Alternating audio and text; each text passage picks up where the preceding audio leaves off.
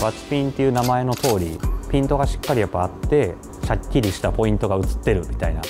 ていうところをすごい意識してましたまあ TD メンドの部品をつけてる人、まあ、何でもいいんですけど1個ホイールナットだけでもいいですしアーム1個でもいいですしかっこいい写真を撮ってみんなであの SNS 上で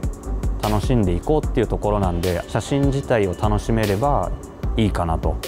僕は思いますね。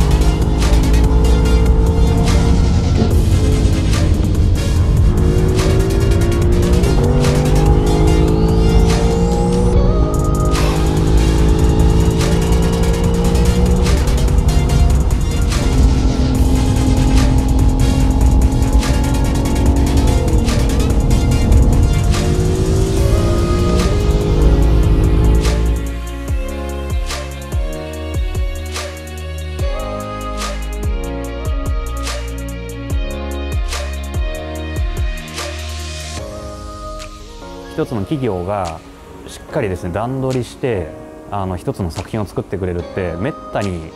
やってもらえることではなくて多分お願いしても普通はできないことだと思うんですよね。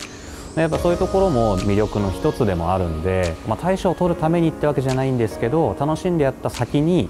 普通だったら得られないものが得られるっていうところも推しのポイントなんで1位というか大賞に選ばれると動画だったり、まあ、写真撮ってもらえて一つのまあ作品にしてもらえるっていうのがすごく実は大きいと思うんですよ。